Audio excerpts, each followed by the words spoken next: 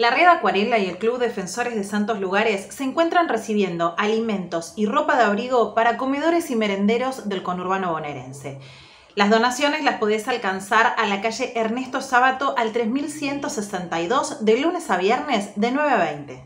Bueno, desde Red Acuarela estamos, trabajamos en red con diferentes comedores, eh, no importa la zona, trabajamos, no sé, por ejemplo, tenemos uno en San Martín, otro en José de Paz, otro en La Matanza y trabajamos en red. Y junto con el defensor lo que estamos haciendo es una campaña solidaria para poder apadrinar a esos comedores, justamente, para que el Club Defensores, desde la parte del área social, se encargue de apadrinar a esos comedores. Tenemos uno en San Martín que se llama Comedor Caritas Felices, que es de Rosa Ruiz.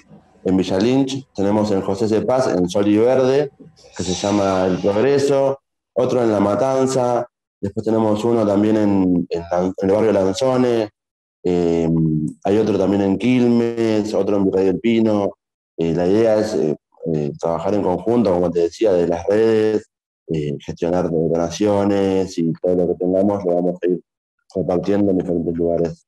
¿Qué es lo que necesitan que la gente done? Principalmente ropa de invierno y alimentos no perecederos, pero ropa de invierno ahora que se viene el frío, en buen estado claramente, zapatillas, medias, camperas, buzos, no importa el talle, nosotros después nos encargamos de clasificar, de separar y de entregar a su respectivo futuro dueño.